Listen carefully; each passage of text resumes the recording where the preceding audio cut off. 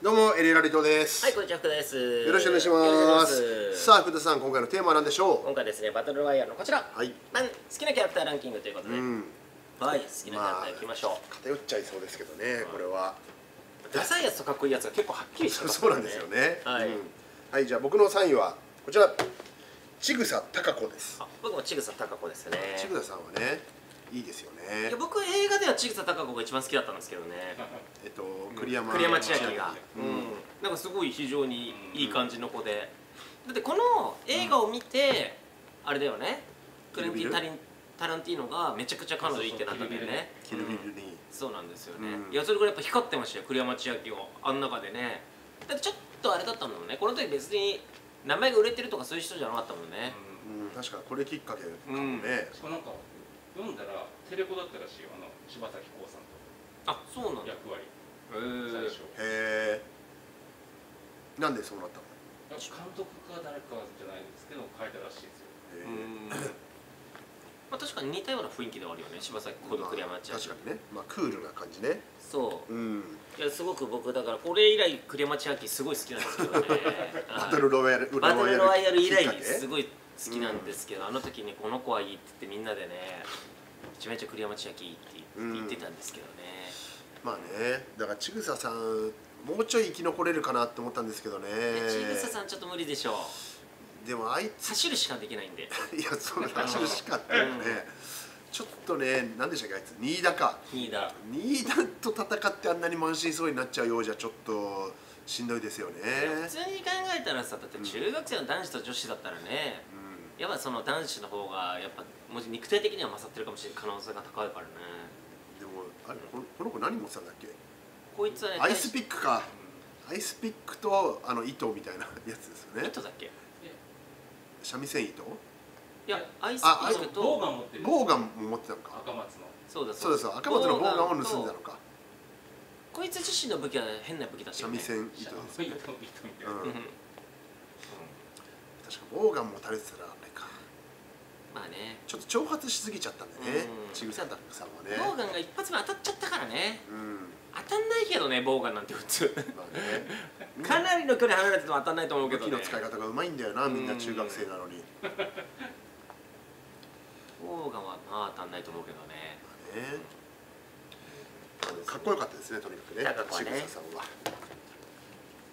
高子もね杉村のこと好きだったけどそこも。まあでも最後会えましたからね。そうまあよかったですよね、うん、会えないんだって思ったんですけど、うん、まだ生きてるかみたいな感じでね会えたんで。はいじゃあ僕の2位はまあこちらですね。杉村ですね。杉村ね。うん。杉村ちょっと強すぎましたけどね素手で。まあチート級でしたね。うん。一人も殺してないね、杉村そんで、うん、そうですね、うん。だからやっぱ早めにね。無敵の3人が揃っとけばね。そうね。三重四。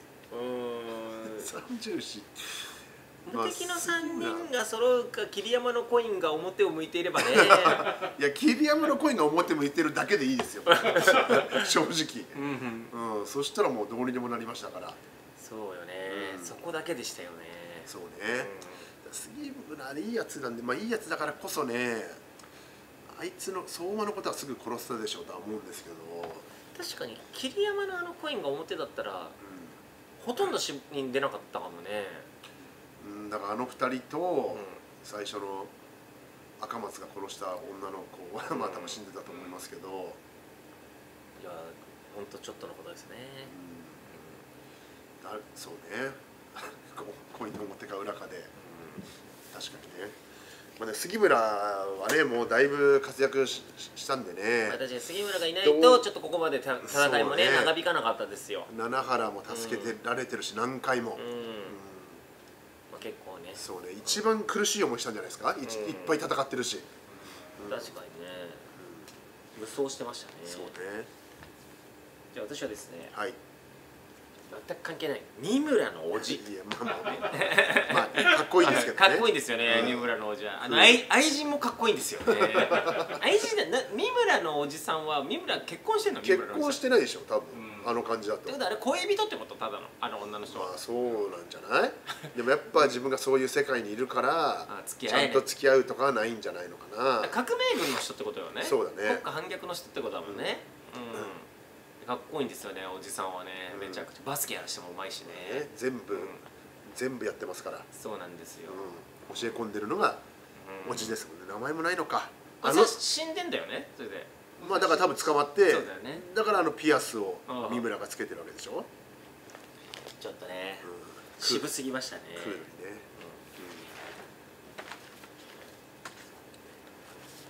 僕の1位はじゃあ三村真司ですね。これはこそうなんじゃないですか、まあやっぱり。そうね。ちょっとすごすぎるもんね、彼もこいつだだから作者も怖くなっちゃって、うん。早めに殺しましたよね。こいつに生き残られるとまずいもんね。そうね。こいつと奈良原をうん。合わせるわけにはいかないですからもう、うん。終わりですからそうなったら。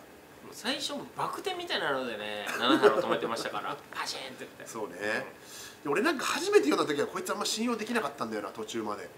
怪しいと思って。こいつはいいやつよめちゃくちゃ。ただのいいやつでしたただのいいやつ。頭良くて運動神経も良くて。高くて。うただやっぱあのー発祥の学校の上にロープをつなげるっていうのはちょっと無理がありましたね。ん、それで風船で浮かせるっていうのはね、うん。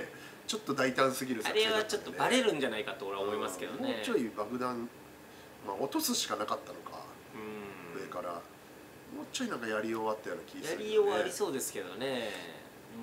うん豊かがいなけれだから豊かなポジションが七原だったら爆弾は落とせてましたよね。そうですよ、うんただやっぱ会えなかったんですよね。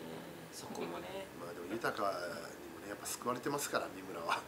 だからあそこでやっぱりまあでもね下手に動かない方がいいもんね。うん。うん。七原探しに行くことによってね危険にさらされる可能性もあるからね動けないよね。まあだから生地で能力が高くて一人で行けるっていうのがあるだけにね、他の人を探すっていう選択肢があんまなかったってことですよね。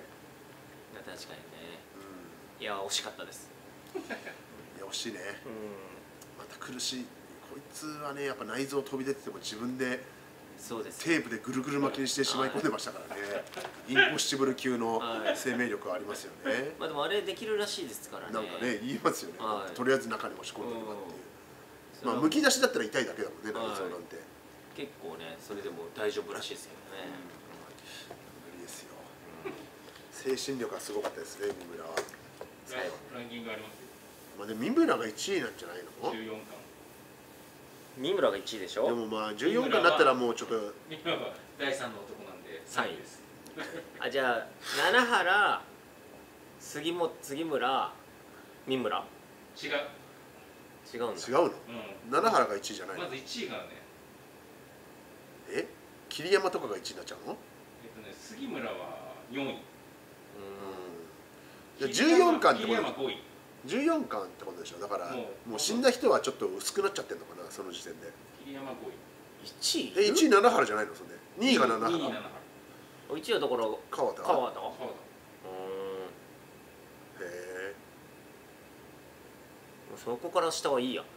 えそんなことない。だ 確かにね。まあ お6位お中川。女の子じゃない？6位中川の方が6位。ちぐさより人気あんの？ちぐさ8位。うん。7位が出てない、うん、相馬光子？はい7位水子。90?90 難しそうだね。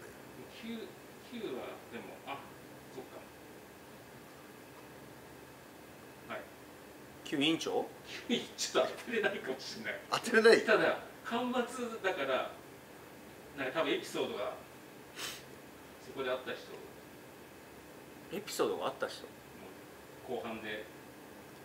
なんか寿さんじゃないああそういうことですの寿って何何者だっけ？杉村の最ああ後。思い人ね。ああ。あいつね琴引き。は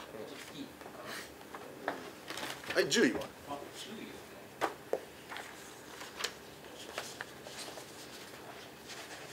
確かに。10位当てらんないわこれ。当てらんない？絶対当てらんない。あ。絶対？絶対でもない。めめちゃくちゃいいやつ。えいいやつ？やつって言っちゃっいいやつ？たはい。あいいやつなの？ただもうめちゃくちゃかわいそうな死に方してたけど。滝口？あ竹口。滝口って誰だっけ？滝口はあうあいつね。う滝口いいやつだったよね。まあね。七原ぐらいまっすぐだったね、うんだから殺されちゃったけど。ちゃんとあいつの言うこと聞いてりゃね相馬に勝ってたもんね。ん。あのなんだっけ。旗神のこと言うこと聞いてればね。相馬に勝てた？相馬だってもう拘束してたから別にすぐ殺しちゃえばいいだけだと思うね正直。まあね、うん、まあ、やっぱ中学生だからう厳しいんでしょうね。はいというわけで好きなキャラクターランキングでした。さあそれでは今日の一人でご覧ください。どうぞ。ん、いや昨日部屋にさでかいゴキブリが出てさ。でかいゴキブリ？うん。えどうしたの？殺したの？いやちょっと婦女暴行しちゃいました。え？大丈夫？心配しなくていいぞ。俺殺したりなんかしないからな。こいつ何言ってんの？どうもあずこでした。